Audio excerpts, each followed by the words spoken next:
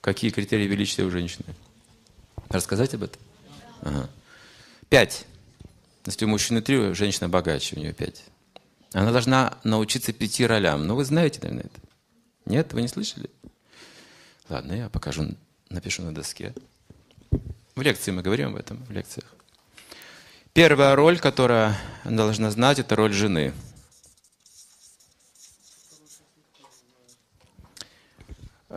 Жена – это э, то, что контролирует разум мужа. Это не женщина. Понятно, что она женщина, но роль ее здесь, жены, она напоминает как раз о цели жизни ему. Зачем мы вместе и куда мы идем – чего ты должен достичь. Она двигает, продвигает его к этой цели, напоминает ему, это жена. А женщина, она несет другую функцию, она просто возбуждает его чувства.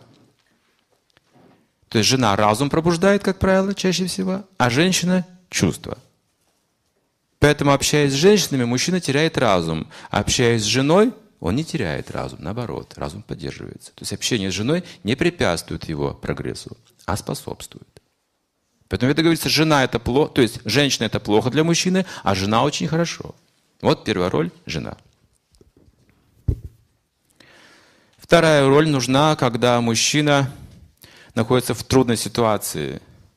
То есть какая-то неудача в жизни, травма, он же воин. Вот поражение терпит человек. Беспомощный, больной, разбитый, уставший и так далее. Перед ним заботливая мать немедленно принимает эту роль перед ним. Вот это большое искусство, я вам скажу, для женщины знать, как это делать, как применять вот эти роли в жизни. Вот это гибкий ее разум, она очень искусна в этих вещах, но этому нужно учиться. Мать заботливая, она действует как мать. Если муж разгневан, свиреп как лев, она не должна раздражать его дальше, потому что он может ее убить, написано в ведах. Не сомневайтесь в этом. Вы сомневаетесь в этом, потому что сейчас есть разводы. Узаконены разводы. А если бы разводов не было, вы бы просто знали, что это чистая правда. Очень часто муж убивает свою жену. Вот почему разводы были приняты. Вот одна из главных причин была. Что в таких семьях, где нет мира, очень часто супруги убивают друг друга. Обычно жена травит мужа, такой способ находит, а муж просто убивает его чем-нибудь, бьет, режет и так далее, или сжигает заживо. Да, да, да. И это в современном мире, я знаю, я был в одной тюрьме э, в гостях. И там мы провели программу.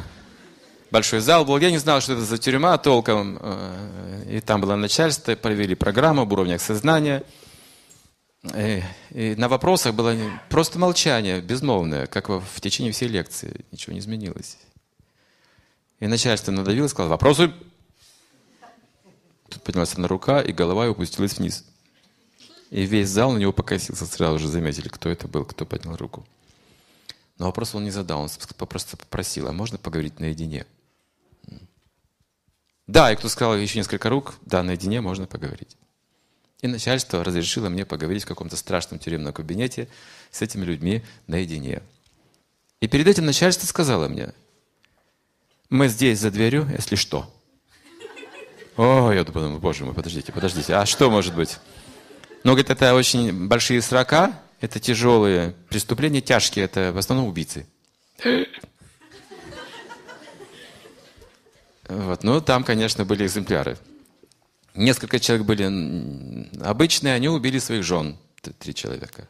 К ряду приходили, и мне сразу с порога говорили одно и то же. Я не убивал. То есть для них это важно очень. Я не убивал. А я вообще не мог понять, о чем он говорит, и почему он мне это говорит. Я же не судья, я просто пришел лекцию прочитать.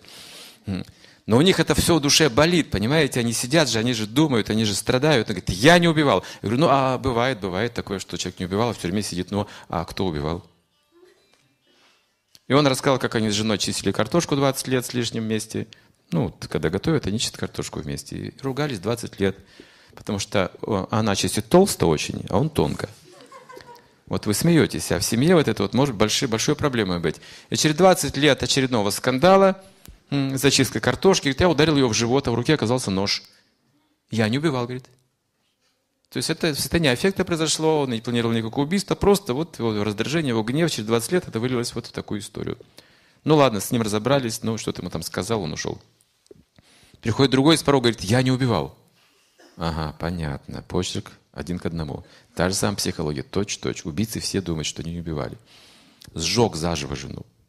Бензином обрил и поджег. Все, живой факел сделал. Это вам примеры того, как э, они живут семейной жизнью и постепенно накапливаются эти негативные вещи. Например, жена говорит что-то неприятное мужу, видит, что ему неприятно, и продолжает это говорить. Вот поэтому веды говорят, этого не делайте, то перед ним будет сразу же, если муж раздражен, обижен или в гнев впадает в ярость, мужчина опасен в гневе, потому что у него чувства устранятся. Они потом вернутся, но будет уже поздно, когда он сделает поступок какой-то. Поэтому мужчина способен убить жену, написано в ведах. И чем сильнее любит, тем больше опасность в гневе это сделать. Поэтому здесь он должна быть стать послушной дочерью. Перед ним дочь. Если вы этим трем вещам научитесь, дорогие женщины, ваша семья уже не распадется. Мужчина просто не сможет никогда вас унизить или оскорбить, если увидит вас в этих трех ролях. Это невозможно будет. Вот даже когда он уже замахнулся, чтобы вас убить на месте, и вы превратились в послушную дочь, он просто рассыпется. Он будет не знать, что делать. У него мгновенно все меняется. Это очень интересный фактор. Но еще две вещи. А, также жена, женщина не должна быть требовательна к мужу. Должна быть удовлетворенная как сестра. Это написано, видно, сестра довольна любым вниманием брата. Любое внимание брата, сестра никогда не будет требовать чего-то большего, она всегда будет счастлива. У меня есть сестра, я знаю об этом. Я однажды ее поздравил с днем рождения. Я забыл, на самом деле, меня мать послала поздравлять ее с днем рождения. Я младший, поэтому я помнил только свой день рождения, больше ничей. Мать меня отругала, говорит, ты эгоист, иди поздравляй сестру, у нее день рождения сегодня. Я пошел, думаю, а что подарить? Он говорит, ну сам думай. Ну, у меня же ничего нет. Согласны же? Ну, спросите, у вас что-то есть? Ничего же нет, правда же? На подарок нет, простите, ничего нет. Поэтому не знала, что сестре подарить. Посмотрел, ну ничего нет, понимаете, ничего, пусто вообще. Я нашел обгрызную ручку школьную, шариковую. Обгрызную такую, знаете. Ну вот, хороший подарок. И пришел и говорит, поздравляю тебя, дорогая сестра, с днем рождения. От всего сердца я подарил. И что самое удивительное, она на дне рождения она показывала эту ручку и гордила. Говорит, брат подарил, смотрите. Она была довольна. Это сестра. И пятая категория, которая так важной кажется многим людям, это роль любовницы. Это тоже имеет место быть между, между супругами. Эти пять ролей, какие из них наиболее важные, как вы думаете? М?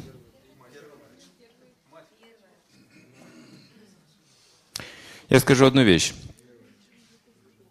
Сейчас у нас вот этот блок из трех сильно ослаблет, либо вообще может отсутствовать.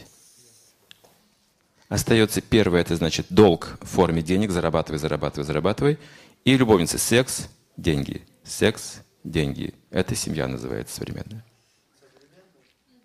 Роль женщины сейчас распространена вот в этих двух категориях. В форме то, что она хочет, требует денег больше от мужа, и удовлетворение чувств. Эти три вещи ослаблены из-за пропаганды западной, сексуальной, вот это материнская, дочерняя, сестринская, очень слабые энергии сейчас женщины достали. Их нужно усилить, и семьи окрепнут. Это великая женщина, которая знает все пять ролей. От такой женщины муж не уходит, написано.